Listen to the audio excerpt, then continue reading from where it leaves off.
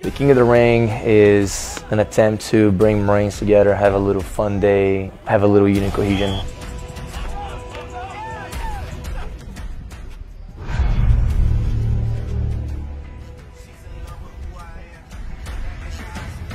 I was expecting to win the grappling portion of it.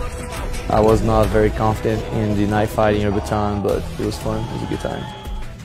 It goes back to train, you know, like to fight. If I train and keep fighting and I'm able to do this here again in Garrison, then when it comes time to do this in battle, then I already know my body's already used to it. I already have the muscle memory going on. I know somewhat, you know, what to expect and how to overcome that.